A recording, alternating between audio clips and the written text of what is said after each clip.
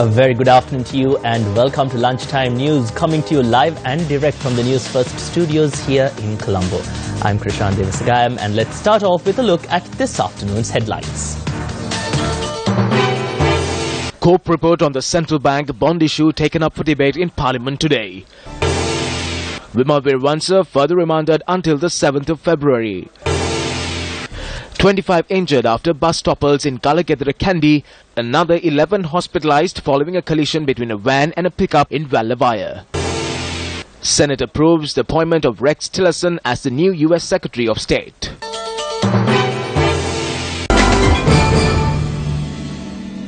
And in your lead story this afternoon, the Committee on Public Enterprises or COPE report on the central bank bond issue is currently being debated in Parliament. Now, as of now, a number of MPs, including leader of the JVP, Anura Kumara Dissanayake, have taken to the floor to speak on the COPE report on the central bank bond issue. Now, stay tuned to News First for the latest happening in Parliament, which we will be bringing to you throughout the day. A detailed report on the parliamentary proceedings of today can be expected on our prime time bulletin at 9 tonight. Meanwhile, in another story making the headlines this afternoon, former Minister Vimal Weerawansa has been further remanded until the 7th of February after he was produced before Colombo Fort Magistrate Lanka Jayaratne. Vimal Weerawansa and another suspect are being charged with misusing vehicles belonging to the state. During the hearing, the magistrate said that evidence presented thus far against the two suspects proved to be correct and thereby rejected the bail application submitted and ordered that the suspects be further remanded.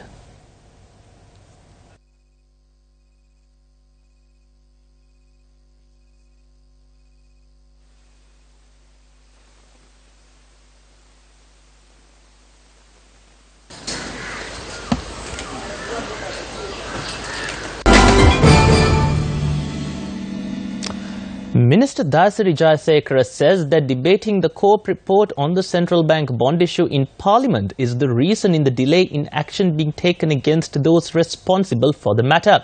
The minister expressed these views speaking at an event held to distribute dry rations to those affected by the drought in Panduwasnuwara recently.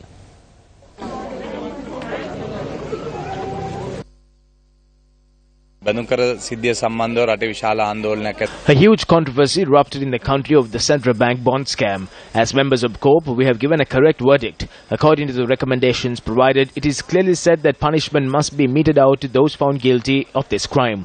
However, we cannot take future action without debating the matter in Parliament. This is the biggest problem we have. Therefore, future action can only be taken following the matter being debated in the House. This is what is causing the delay. තමයි අපිට ඊළඟ ක්‍රියාමාර්ගවලට යන්න තියෙන ඒක තමයි සිද්ධ වුණ පරක්කු වෙන එකක් නෙවෙයි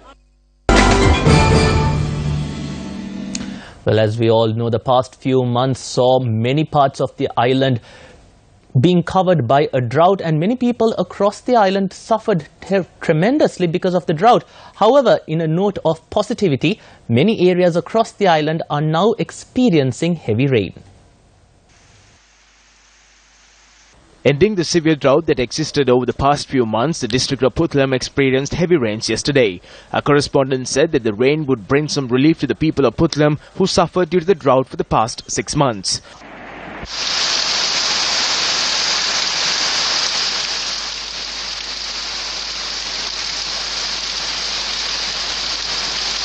Meanwhile, heavy rains fell on a number of areas in the Mannar district. Our correspondent said that a number of areas, including Silavatura, Marichchukaddi, and Viluthukulam, that were battered by the drought over the past few months, received heavy rains yesterday. Moreover, nearly 10 houses were inundated owing to rains that fell across Kantale. Kantale irrigation officers said uh, that as to now, the water level of the Kantale tank is approximately 2,500 cubic feet. Our correspondent said that heavy rains continue to fall across the Kantale area.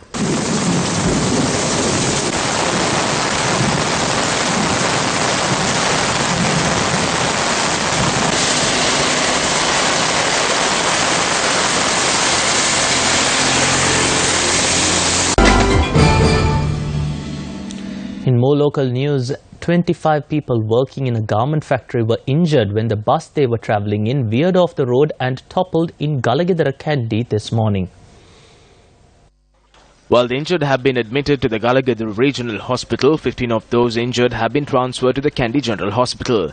According to the police, the accident had occurred when the bus veered off the road as the driver failed to control the vehicle, which was being driven at an excessive speed. Our correspondent noted that the bus had collided with a power line and the power supply in the area was disrupted as a result of this.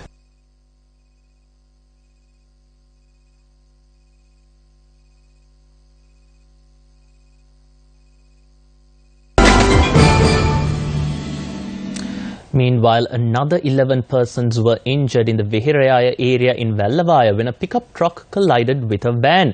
According to police, the injured are currently receiving treatment at the Wellawaya based hospital and two are in a critical condition. Our correspondent noted that the injured were passengers travelling in the van. The injured are residents of Deraniyagala.